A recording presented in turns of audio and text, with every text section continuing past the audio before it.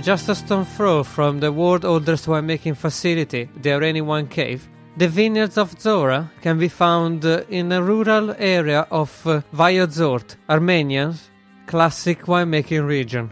Zorah aims to re-establish the long history of Armenia for wines and to bring the nation onto the global market. It is not an easy task, but thanks to some very clever choices, the success is coming to their way. Armenia, much like other countries, has a few hundred varieties that are believed to be of local origin. And Yeraz Garibian, our guest today, knew that working with those varieties would be essential to the success of his wine. We talk about why he decided to open his winery in Armenia, what are the difficulties that he encountered along the way, also explore the unique region of Vayots Dzor with its high altitude and the karas, the Armenian amphora used for aging, and how he used them. We also spotlighted what other regions are producing wines in Armenian and what's the future is looking like for them. Hi, I'm Matthias Carpazza, and this is the Looking into Wine podcast. Wine and winemaking can be complex, but this podcast has a simple mission. We want to give you the skills and tools to harness your passion about wine. Through this series, we will shine a spotlight on some of the different regions, process, and concepts that shape the fascinating world of wine. I hope you enjoy the show and your own journey looking into wine. Welcome to Looking into Wine. Today's guest is Zorik Garibian, founder of uh, Zorah Wine. Thank you for coming on the podcast, Zorik. Thank you, thank you to having me in your show. So, Zorik, you you opened your project in uh, Armenia in uh, 1999, and uh, I wanted to ask what was the idea and why you decided to open a winery in in Armenia. Uh, that's a long story. I try to. That needs at least two two days. So, but I try to. and okay, I'm a diasporan Armenian. Um, my initial plan was to have my vineyard and winery in Tuscany, but then Soviet collapsed and Armenia began uh, became independent. So I went to Armenia and. Uh, little by little, I uh, I started to change my initial dream of Tuscany. Also, because Armenia was a virgin land, and uh, more studies I did, more I noticed that there are great potentials there. And because there was nobody doing anything in Armenia, Armenia was just be- was just became independent. So I decided to do something more challenging. So I decided for Armenia to to start it in Armenia. And uh, you you set uh, your uh, winery near the Mount Ararat. I can't quite pronounce the region, which Vayots Dzor. Vayot which is in the south part of Armenia. What did uh, did attract you to this region? First, I have to say that uh, obviously, as I say, I am a diaspora in Armenia. So, first time in Armenia, when I started to think of having my winery and vineyard, I started to check all the regions, north to south, east to west. Meanwhile, I was having fun as a tourist, and I was also checking the terroir, uh, climates, and everything. So I examined a lot before uh, deciding for Vayots Dzor. Um, and uh, the choice for Vayots Dzor is because historically uh, Vayots Dzor is the wine growing region, is the quintessential wine growing region in Armenia. Even if uh, I must say this, in recent history, uh, Vayozhord region has been overlooked because uh, this is my interpretation. Eh? Uh, because Soviet times uh, they were uh, more oriented, and uh, the quantity was calling the shots. It was not about study of terroir quality. It was more about where they can make more quantity, industrial, and but uh, looking at Vayots Dzor's top- topography uh, you got relatively small plots, abundance of stones, Uh, so it is a difficult terroir if you want to do quantity, big industries. So it has been little bit uh, over, uh, not little bit, a lot overlooked. overlooked. But uh, I have to say this because uh, the points of Vayots Dzor uh, is the highest altitude that you can find in Armenia. They are in Vayots Dzor, my region. The vineyard starts from 1,100 uh, meter of elevation above sea level till 1,600, and there is absence of any kind of industry. So it's all about nature. We got, it's not all about vineyards. We got fantastic biodiversity. We got peaches, cherries, walnuts, apricots, you name it. We got everything there. and uh, the most important thing for winemaking and vine growing is that there is uh, the uh, the phylloxera has never arrived to my region. There are other parts of Armenia that the phylloxera has arrived but my region, uh, because also of isolation, we have never had the phylloxera, so no human manipulation, no grafting. And we got, I mean, even today, all the plantations, not only in Zorah, but all the region is still, everything is on its own roots. And there are plenty of native varieties. That's another positive point about my region and also Armenia. We got plenty of native varieties that are coming to us from thousands of years because, uh, as you know, uh, it's Armenia has a millennial history, and it's not by chance that the oldest winery that dates back to 6,000 years ago is in Vayots Dzor, and it happens to be my next door neighbor. Is uh, is uh, the Areni Areni one, I believe. Yeah, Areni one cave, a discovery done lately, not so many years ago but uh, I was there before them. I was there before the discovery, not before them. I was there be- before the discovery. So yeah, uh, so it's not by chance that there are no no there are also other testimonies uh, of vine um, ancient uh, sites and things in Vayots Dzor. So it is the quintessential. I mean, having also all, as I said, the topography, the high altitudes, and uh, no phylloxera varieties, and everything is there. Okay, absolutely. And uh, you decided to work only with Armenian grapes, originally from Armenians. What what grape have you got planted in the moment, and what did you what are you learning to working from them? Okay, I work, yeah, of course, I work with native varieties of Armenia. I must uh, precise this point that it's, uh, we got lots of crossings from Soviet times. I'm not touching them. I'm more into uh, varieties that are coming and they are there since ever. I'm more after those kind of varieties. And uh, luckily, we got plenty of them. Uh, mm-hmm. you were asking me what I learned from. Yeah, well, what was uh, unique to to go there? Because you say that the the region was new. You were basically working from scratch. Well, how was working with these new varieties, and what are you learning from that? Uh, the learning. Um, I mean, I think it's learning that will never is a lesson that has started and will never end because I don't think in my lifetime I will arrive to the end of it. We got so many, plenty of varieties, even unknown to us. Uh, I mean, uh, we got always surprises of new things coming up. Uh, you know what? I would like to call my uh, region Garden of Eden and uh, I think it's got still to be discovered. It's got a great potential that has not mm-hmm. been discovered.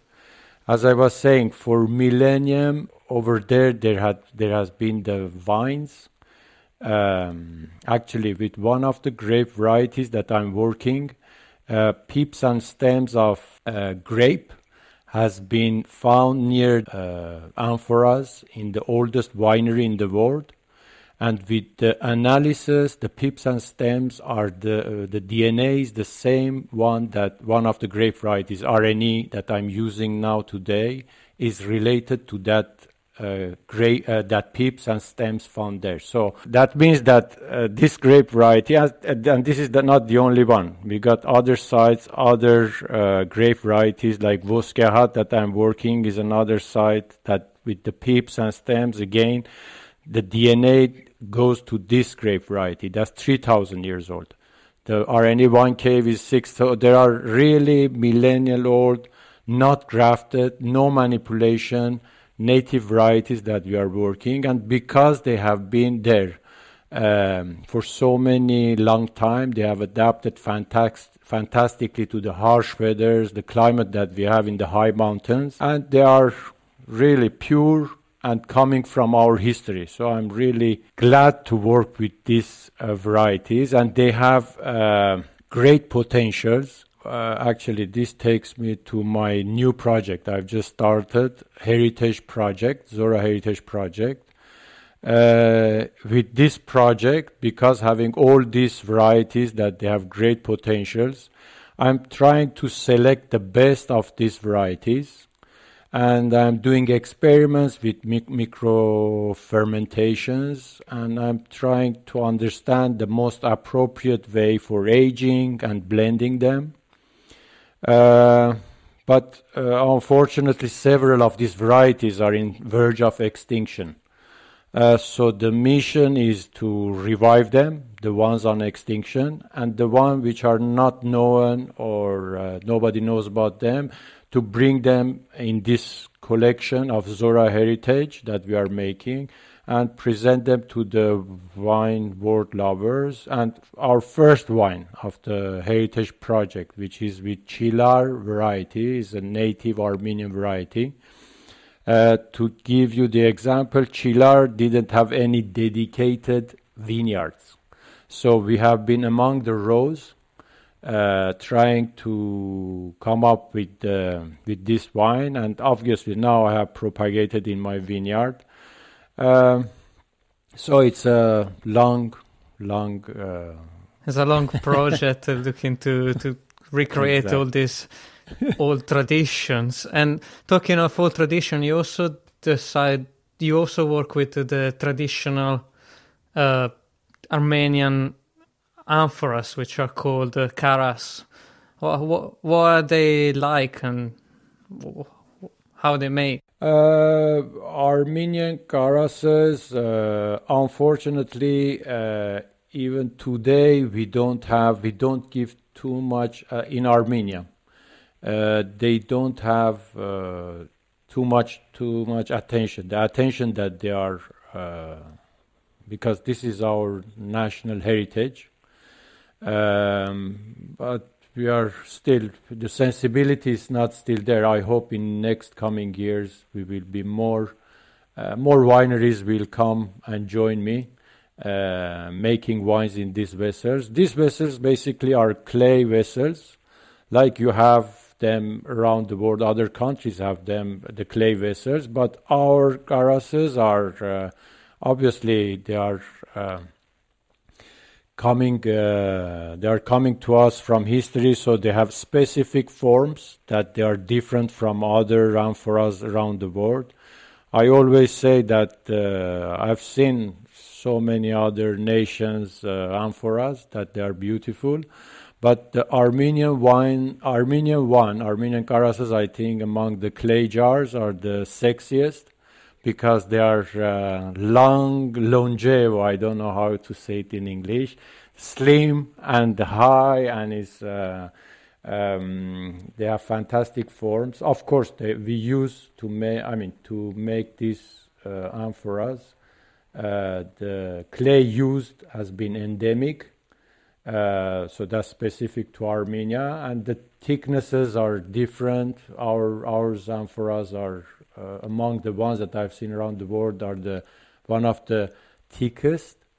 And uh, the way we are operating them is unique to Armenia. I have never seen anywhere else because uh, historically, I mean, I've done all kind of experiments, totally out, totally inside the uh, ground, totally out. But uh, historically, Armenians, uh, and this is the path I have chosen for my today and future is uh, Armenian amphoras are buried two third in the ground and one third out of ground. Um, obviously, uh, this uh, with, with, experience that now I'm working, this gives the best results, at, at least to me, because by doing this you have uh, the uh, stability of the liquid on the two third uh, and then on the one third, you've got different temperature. So these differences in the temperature keeps the movimentation in the wine. So you have an aging going on with the wine uh, naturally in movement. Nothing is done because of this one third out. You've got different uh, temperatures and is moving.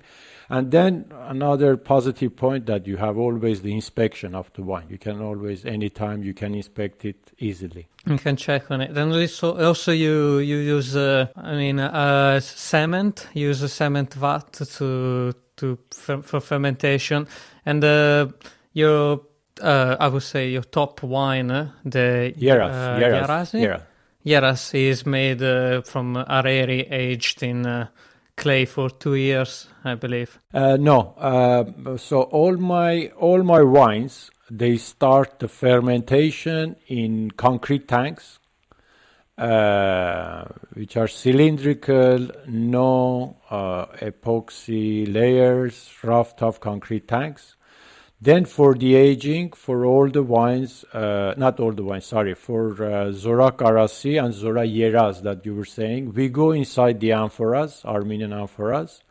For Yeraz, then, because the aging is long, two years, uh, we go in wooden cask, in one big wooden cask, one bote, one big wooden cask.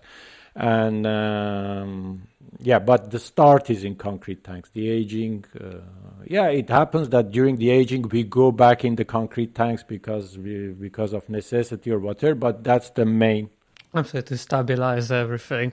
And uh, for this, uh, for your premium wines that you have founded a vineyard at like 1600 meters? Yeah yeah. Zorah uh, zorah as a main core main vineyard. We are on 1400 meters where the vineyard and the um, winery is uh, located. But for yeraz uh, there is another location. There are small uh, yeah small plots on 1,600 meters of elevation. These are ultra centennial bush vines that we have uh, discovered, and uh, because it is a treasure, it was basically abandoned.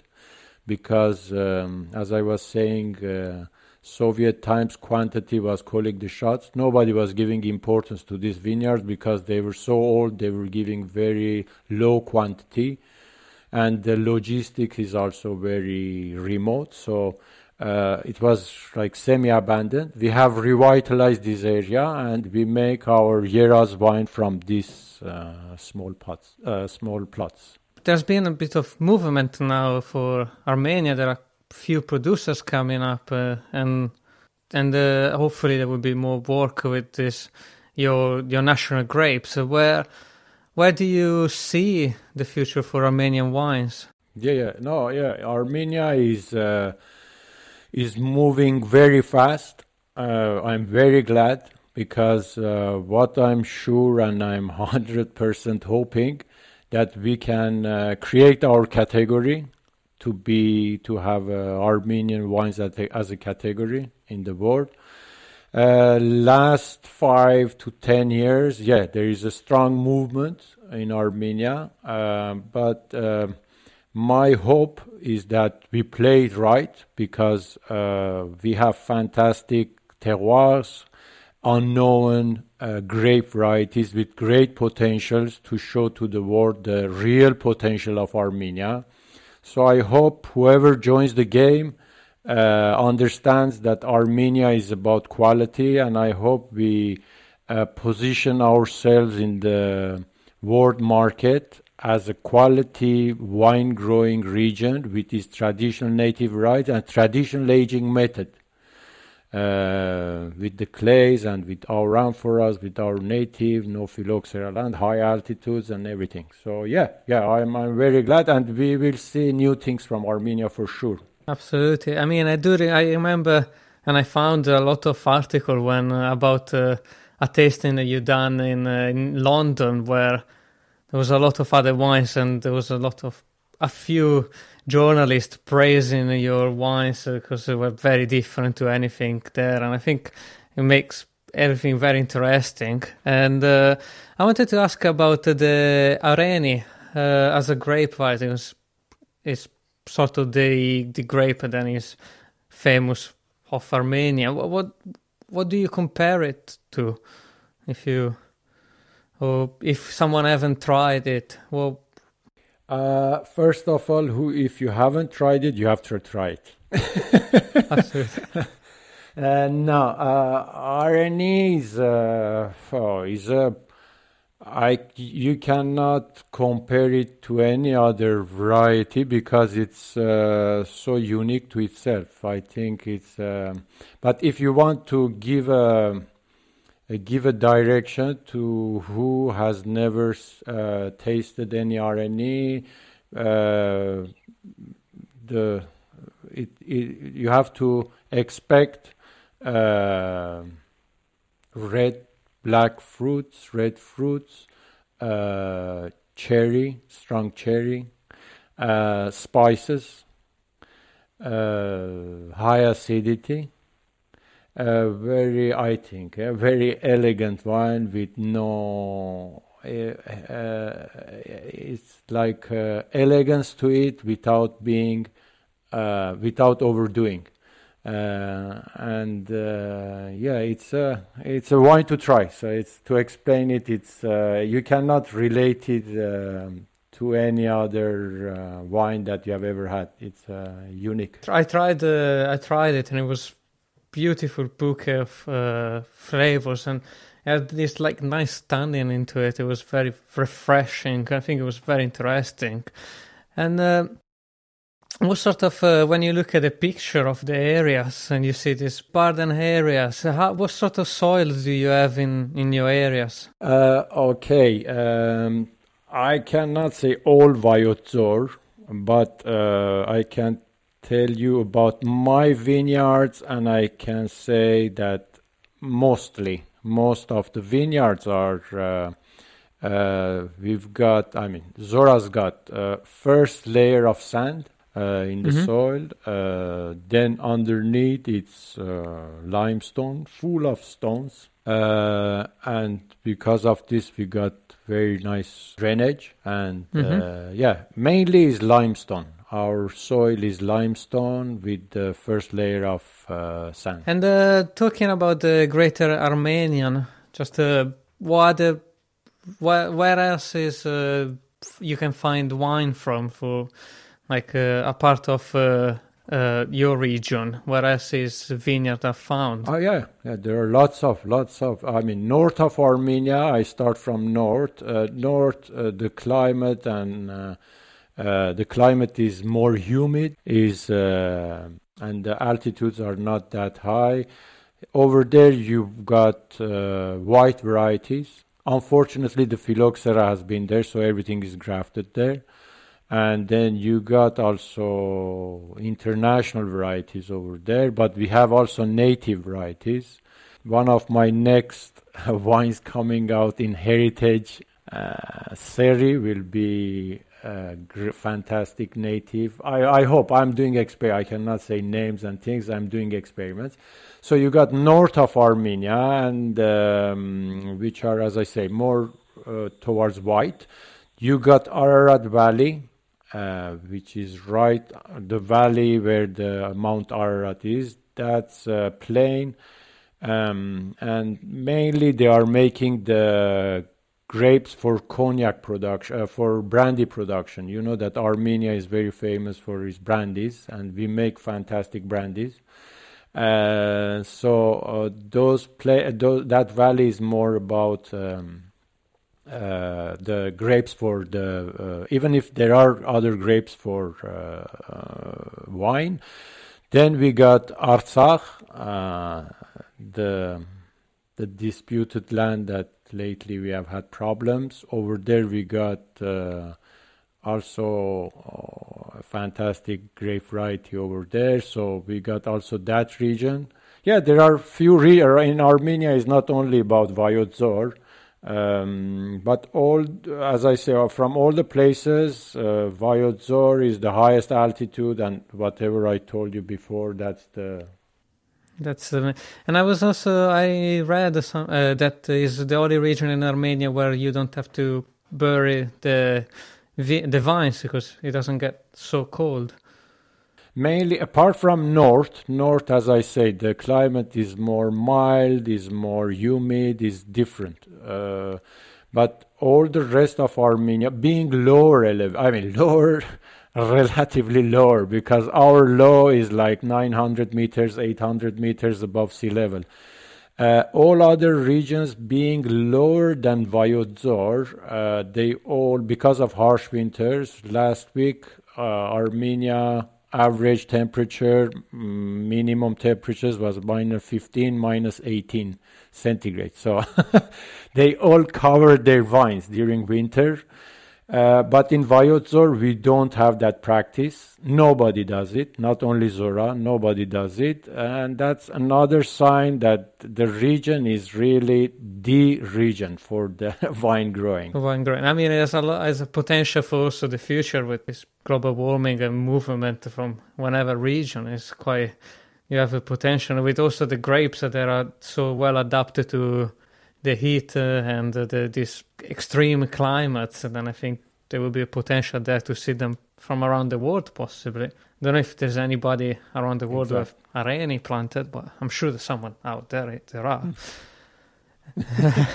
and um, I want or maybe maybe they will do it. They maybe absolutely. And uh, I was um, the last wanted to ask the last couple of questions. Uh, I remember you were um, I saw that you were doing also a project with your local school about teaching how to make the amphoras. Yeah, that's a project. That's a big project. uh, we have started, but uh, I must say we have started, but this project is about reviving um, the art and the craftsmanship of doing amphoras in Armenia. Garas is in Armenia because uh, I am ashamed of saying that having the oldest winery in the world, where inside they found the amphoras.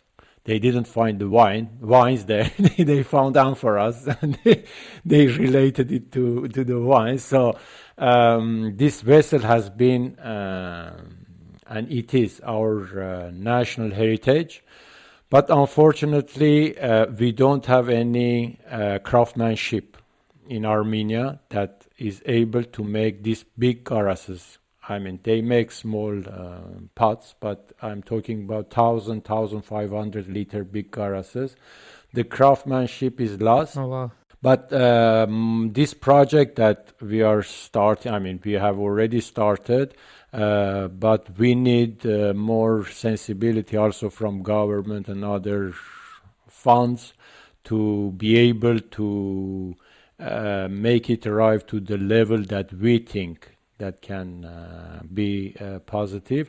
So th- this project basically is to revive this art, and we are in collaboration. Uh, I mean, we have had uh, collaboration with also Fontodi in Chianti mm-hmm. because they have they have also a production of amphoras. So we have exchanged exchanged some informations. Uh, we okay. have done some analysis with our endemic clays in Chianti to understand, and we are hoping in their help when we will have the possibility to move to have their advices. Historically, the the amphoras in Armenia they would be quite big. I think like a, quite like large compared to what will you see? I mean no we got no we got all the sizes but obviously if you are uh, thinking uh, to use it in the winery because i've I, in my winery i have all different sizes. I have i have also 200 300 500 liters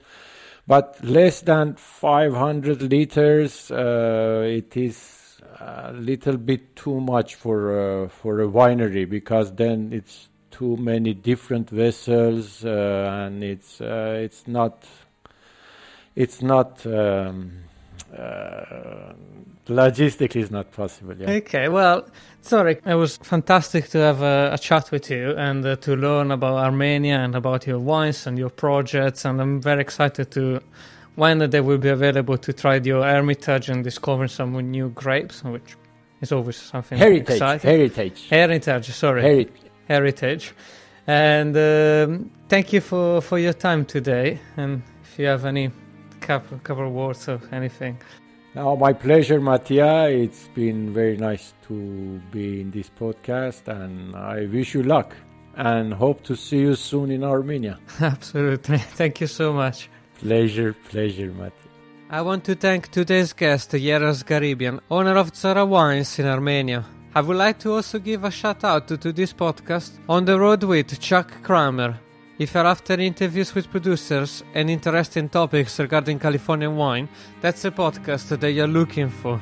Remember to hit the follow button to know all the, the podcasts that are coming out and to tell your friends about it. You can reach us on social medias on Instagram on mattia.lookinintowine and Mattia Scarpazza on all the other social medias. If you're enjoying the podcast, you can donate on mattiascarpazza.com Music produced by Samuele Di Nardo, editing and mastering by Tommaso Ascoli. Has it been a while since you flipped that thermostat from heat to cool? Turn to the experts at Griffith Energy Services before you do for an $88 AC start and check to make sure your AC is in tip top shape. Griffith specializes in carrier, but services all brands. Visit GriffithEnergyServices.com today, your local carrier expert. That's GriffithEnergyServices.com. License number MDHVACR 01 2278. Griffith Energy Services. I think what flavor of these new Dunkin' coconut refreshers you get says a lot about you. Really? What's it say about me? Well, you got the refreshing golden peach because you're vibrant, fun, and positive. Oh, what about me? The bold purple pomegranate means you're vibrant, fun, and positive. I take it I got this delicious pink strawberry because I'm vibrant, fun, and positive. Yeah, it's a simple system, really. Share the shine. Enjoy a medium Dunkin' coconut refresher for $3. Order ahead plus earn rewards. America runs on Dunkin'. Participation may vary. Limited time offer excludes classic Dunkin' refreshers.